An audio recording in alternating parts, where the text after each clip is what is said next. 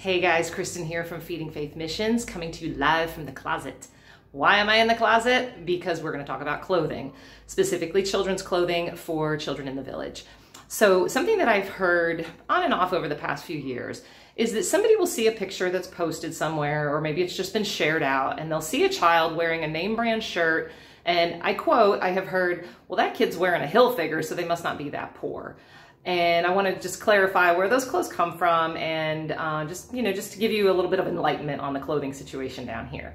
So first and foremost, in many cases in the village, that is the only shirt that that child owns. So regardless of what the brand name is, he might be wearing that shirt every day until it is threadbare. And they will wear anything they can until it is completely threadbare. I've walked up a mountain beside a child that had no backside in his pants and I could see his backside because he literally just had a hole and the pants were so ill-fitting that they had a rope to try to hold them up because he couldn't button them anymore. So the clothes usually are the only set that they have. It's not uncommon to go to a village and see children running around with no shirts on and naked, not because they're just kids that want to run around naked, they just don't have any clothes or they don't have clothes that are clean because mom's washed them in the river and they're hanging out on the line to dry.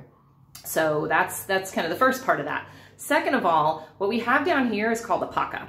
And paca kind of has two definitions. Um, number one, it's a store. That's where they sell the pacas. And the paca itself is a bale of clothes. These clothes are what comes to countries like Guatemala and developing countries when they're at the end of their life, whether they're used or new. So they could be coming from a clearinghouse like Ross or TJ Maxx. These are just examples. I'm not, you know, endorsing anybody or maybe thrift stores. So you have a combination of both used and new clothes. So for example, you go to the store, the mall, your outside shopping center, your boutique, whatever. The shop it starts the clothing item starts its life there. Then it makes it to the sale rack. Then it makes it to a clearinghouse or an outlet.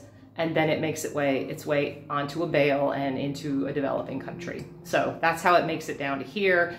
And that is how you know little boy in the village is wearing a name brand shirt that somebody might assume is very expensive and it could be that whoever bought that paca or donated, I mean, that shirt could have been 50 cents by the time it's made its uh, way to a cash register down here.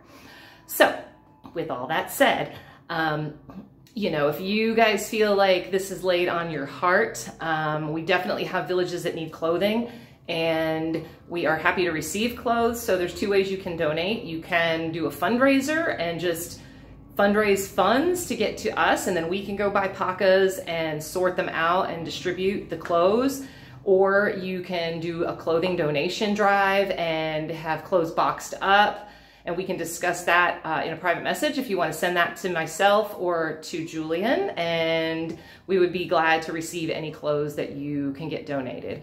Uh, the other item that is desperately needed always is shoes.